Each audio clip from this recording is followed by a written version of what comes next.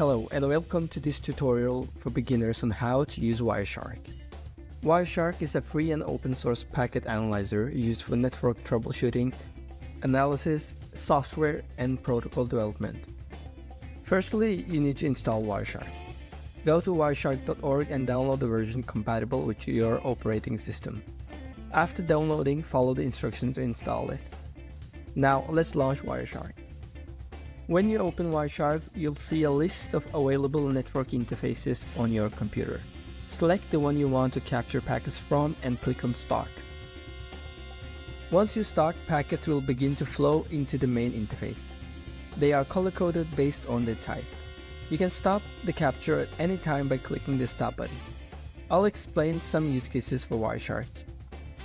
Basic network troubleshooting one of the most common uses for Wireshark is basic network troubleshooting. Wireshark can help identify network latency issues, drop packets, or inappropriate packet sizes.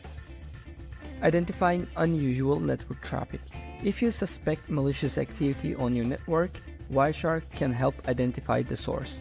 This could include excessive connection attempts, traffic from unexpected locations, or unfamiliar protocols in use. Bandwidth usage monitoring.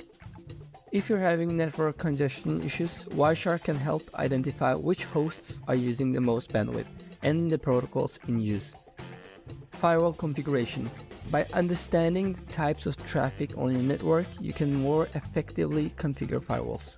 Wireshark can show you the protocols and ports in use on your network. Intrusion detection and prevention. By setting a proper filter, you can use Wireshark as a simple intrusion detection system. For example, you could set a filter to show only packets with a SYN flag set, which might help detect a SYN flood attack. Learning about network protocols for students or anyone else looking to understand network protocols more deeply, there's no substitute for looking at the actual packets on the wire. Wireshark's protocol dissectors make it easy to understand the structure of different protocol packets Let's get back to Wireshark. In the main display, you'll see three sections, the packet list pane, packet details pane, and the packet bytes pane. The packet list pane shows all the packets captured. If you click on a specific packet, you'll see its details in the packet details pane. This includes its source, destination, protocol, and more. The packet bytes pane displays the raw data of the packet in a hexadecimal view. You can apply filters to help sift through large amounts of data. Just type the filter ex expression into the filter box and press enter. For example, you can type IP address equals equals to filter all packets with the IP address of your choice. You can also use Wireshark to follow a specific TCP stream. Simply right click on a packet, select follow and then TCP stream. Wireshark also allows you to analyze the latency or time taken for a packet to go from source to destination and back. This can be found by right-clicking packet and selecting conversion filter, then TCP. This shows all the packets sent between the two IPs. Another feature is the ability to see all resolved DNS names by navigating to statistics, then resolved addresses. Here you can see all the DNS resolutions that happened during the capture. Wireshark also supports exporting packet data in various formats, including CSV, XML, and plain text.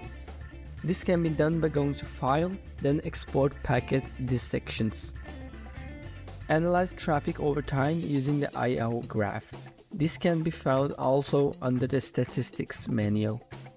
You can plot different types of traffic and view the bandwidth used over time. Wireshark also offers expert analysis. This feature provides a quick overview of potential issues with the captured network traffic. Go to Analyze and then Expert Information. It will display warnings, notes, and potential errors identified by Wireshark. Finally, one of the most powerful features of Wireshark is its ability to decrypt SSL or TLS encrypted traffic, given that you have the appropriate keys, of course. This feature can be invaluable in troubleshooting encrypted traffic.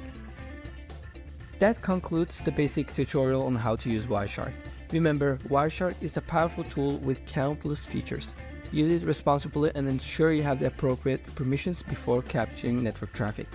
Thanks for watching, until next time.